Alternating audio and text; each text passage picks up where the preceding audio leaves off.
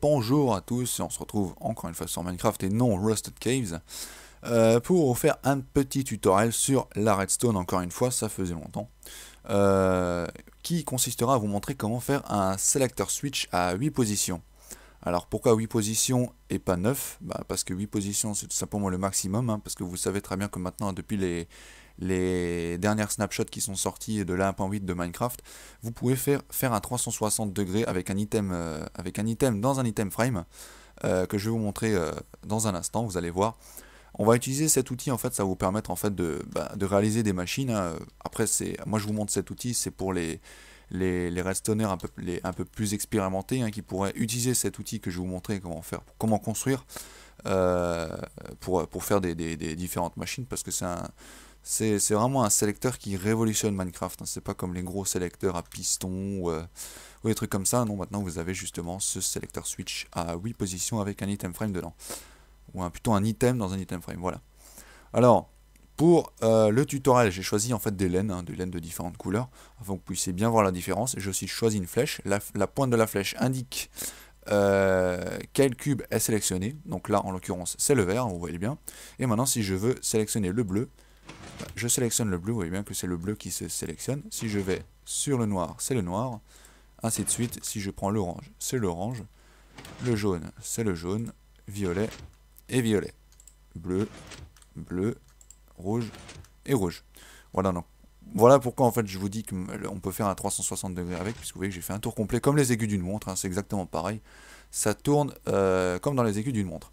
Et ça justement, ça nous permet de, de, réaliser des, machines assez impressionnantes, hein, des, salles des potions ou des trucs comme ça. Pour, euh, c'est un sélecteur, en gros, il hein, faut, prendre ça euh, comme un sélecteur. Après, si vous voulez reset le, truc, hein, vous avez juste à casser ce qu'il y a dedans.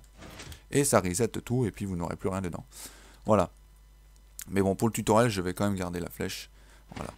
Alors, pourquoi, euh, pourquoi en fait, bah, ceux qui ont regardé le tutoriel sur la, une des snapshots qu'Hypierre a fait, il vous explique le fonctionnement euh, maintenant de, bah, du comparateur ainsi que les, les, items frames. Quand vous faites euh, euh, tourner un, quand vous faites un quand vous faites un tour complet avec un bah, il faut chaque fois chaque fois que vous faites un clic en fait ça va émettre une puissance.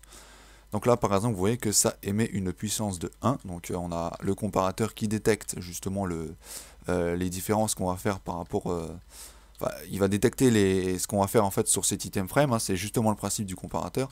Donc là vous voyez que ça détecte une puissance de 1. Si je le mets sur 2, la position 2, bah, ça va mettre un, courant de 2. Et ainsi de suite, si je mets sur un courant de 3, ça va détecter un courant de 3. Vous voyez que la, redstone ici n'est pas allumée, elle est allumée ici. Donc c'est bien un courant de 3 qu'on a. Ensuite, ainsi de suite, 4. Voilà. 5. Voilà, 6. Alors, regardez bien la redstone. 7. Voilà, là-bas. Et 8. Vous voyez bien qu'elle est alimentée ici. Voilà, et ensuite pour revenir en arrière, bah, vous faites un tour complet, et voilà. Euh, donc voilà, donc c'est tout simplement, on utilise tout simplement le principe du comparateur. Hein. le comparateur qui fait tout, hein, c'est un espèce de calculateur euh, génial euh, qui fait tout. Alors il ne faudra pas l'activer, bien sûr, puisque ça ne sert à rien. Mais voilà, donc euh, on va procéder au tutoriel pour comment construire ça, comme ça vous pourrez vous amuser à faire des, machines, à inventer des machines et qui sait vous faire un nom sur YouTube. voilà, donc sur ce, moi je vous dis à tout de suite, je vais préparer tout le matos et on se retrouve. Ok, nous revoici. Alors, euh, pour ceux qui sont dans un monde vide comme moi, qui veulent aussi faire des, faire des tutoriels c'est un peu comme moi, euh, faites-vous une plateforme assez grande, hein, histoire que vous puissiez construire mais pour ceux qui sont sur un monde super flat euh, ou autre, un monde normal ou leur monde survie, euh, vous n'aurez pas besoin de faire ce que je suis en train de vous dire. Voilà, donc euh, une fois que vous avez préparé tout le matos, hein, donc bien sûr vous aurez besoin de poudre de redstone, de redstone torche, de sticky piston, mais bon, on va pas les prendre, on va prendre plutôt des lampes hein, pour le, tutoriel pour changer. vous aurez besoin de repeater, d'un comparateur et euh, bah, d'une flèche hein, pour, euh, bah, pour, ou d'un autre item. Hein. Faites en sorte que ce soit un, espèce de stick qui, où la flèche est vraiment le meilleur parce que ça vous indique ce que ça, euh, ce que ça pointe de toute façon. Donc mettez une flèche, hein, c'est vraiment le meilleur moyen. Et puis aussi des, des blocs n'importe lesquels. blocs de fer, c'est pas, c'est pas nécessaire. Voilà, donc vous vous faites une, une, espèce de, un espèce de petit mini mur en, en 3x3. vous mettez vos, euh, vos positions. Hein. Donc moi j'ai mis position 1, 2, 3, 4, 5, 6, 7, 8. Vous n'êtes pas obligé, vous pouvez mettre des laines de couleur ou ce que vous voulez. Vous pouvez aussi mettre des, trucs pour les ingrédients pour les salles des potions, hein, donc c'est pareil. Hein. Vous mettez ce que vous voulez, ça après je vous laisse faire, c'est vraiment libre de choix. Au milieu vous mettez un item frame, c'est important, avec la flèche dedans, donc mettez une flèche, donc ce sera le meilleur moyen. Et ensuite derrière vous allez placer un bloc mettre un comparateur. Il faut savoir que si vous mettez un comparateur qui n'a pas d'item dans le euh, dans l'item frame, bah, il ne sera pas allumé. Voilà, donc mettez bien un, un, item, un item dans l'item frame parce que sinon il ne sera pas allumé ou à part si vous voulez que ce soit juste euh, éteint. Euh, comme je vous l'ai montré juste avant. Voilà, donc ensuite vous mettez 8 blocs, donc 3, 4, 5, 6, 7, 8. Vous mettez de la poudre de redstone, ensuite vous mettez des repeaters,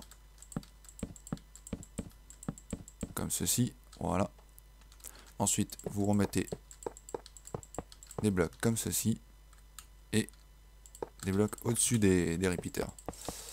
Ensuite, vous reprenez la poudre de redstone, vous la mettez là au-dessus, ça s'en mêle, c'est normal. Ensuite, vous prenez des repeaters que vous allez mettre à 3 ticks,